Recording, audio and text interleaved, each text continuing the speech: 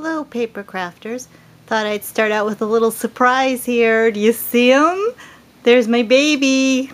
Uh, Buddy's doing good.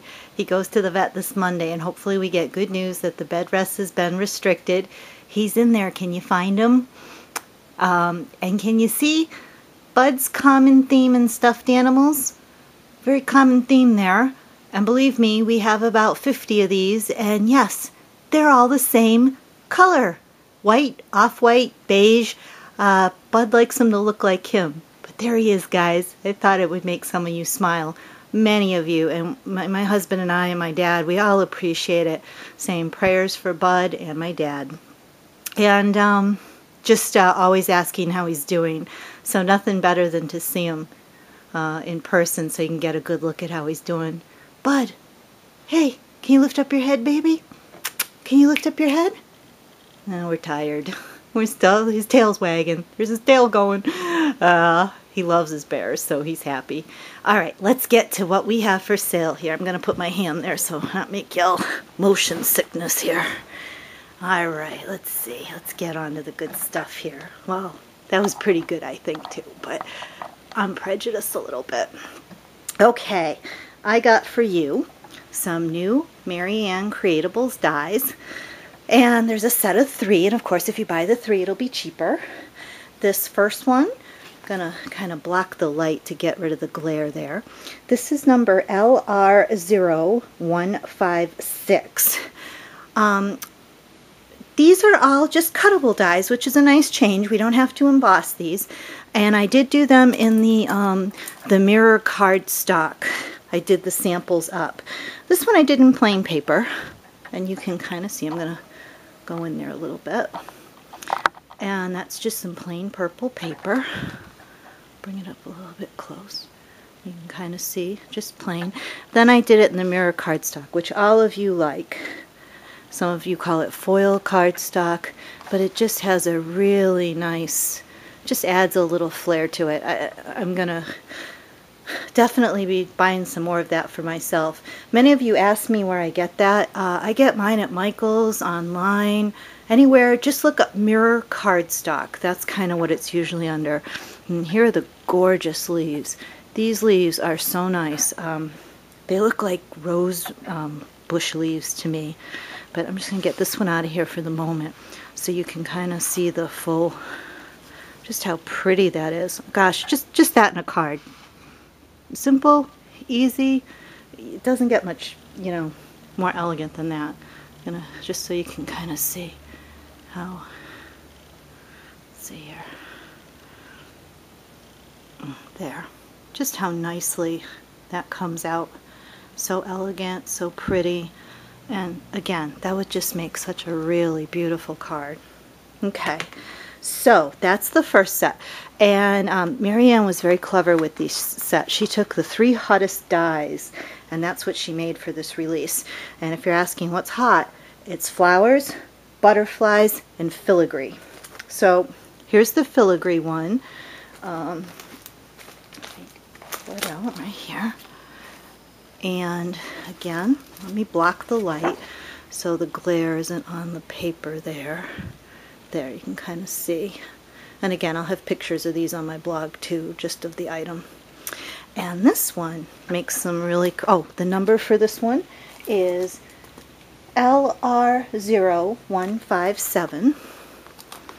And one of these is, makes this really cool, I don't know, I'm thinking lupine, I might be wrong. My flowers, my mom would be so disappointed in me. Um, and it's just it's really pretty. And I just think of anything with an outdoor scene.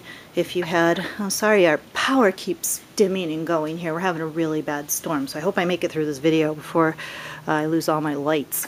Um, and you can kind of see that it looks I, I think any scene with a stamped deer or a rabbit or just something stitched uh, for those of you that are stitch, stitch um, do the stitching on cards, one of my favorite techniques, you can just see how pretty and how how beautiful that looks. And again, these are just straight cuts, no embossing involved, which is nice for a change. One less step. Then the other die that it makes is this really, everyone likes these kind of Anja style things. Now again with the stitching, these are so pretty. Um, they just kind of add an elegance with the design here and this is that uh, little extra. And then I put another one kind of you could make a nice border for a card there. That looks really pretty. If you can kind of see how that goes. That would be so pretty on a card okay and then the last one is these little guys right here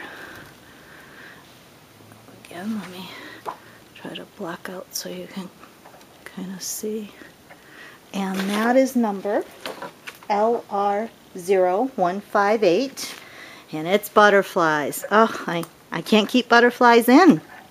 Everybody wants butterflies. And I was talking with one lady who, um, Sally Ann, who does beautiful stitching, and she likes, uh, she bought my butterfly punches, and she was so excited because she said, butterflies cover up mistakes or boo-boos. And I thought, what a really great idea, because a butterfly can just about go on anywhere or anything. And so I thought, yep, that's probably, uh, you know, one of the reasons they're so popular is you can just kind of stick them anywhere. And uh, again, with the, a lot of the popular flower designs too, it makes it even, you know, that much more popular. So just kind of showing you how pretty those come out and detailed. And of course with butterflies, I didn't do it for a sample, but I always like to take two and then put one on top of the other and fold up the wings of the top one, kind of like, like this and give it dimension. And then that bottom one is there for the, for the um, baseline um, to add to the card. And they're just nice because butterflies' wings are made, I think, to go up. I always do it on my cards. And then I'll send people a note to crimp it when they get it in the mail if it's not a card I'm handing in person. So that's it. Sweet and simple release. Um, I am on vacation this week. Uh, so if I don't respond to you right away, we have lots of appointments for Bud and my dad, and maybe my husband and I even take a day ride if Bud gets cleared to go for a ride in the car. So don't worry if I don't respond right away. But if I don't respond within 48 hours, email me again. Things have been happening with my emails, and I'm not quite sure where they're going. Um, I know some of it is me, and I know some of it is my customers, and between the two of us, I, I don't want people to ever think I'm ignoring. Usually I get back within 24 hours. If not, please email me again. You will not bother me. The other thing, just to let you know, um, anytime you see any of the Holland dies or um, crafts and you're wondering if I have them and you're patiently waiting, but you're waiting on a project, email me. I might have it. Um, you know, I, I sell best by doing these videos, so sometimes I'm sitting on stock because I just don't have enough time in the day to get everything out to you and do what I want.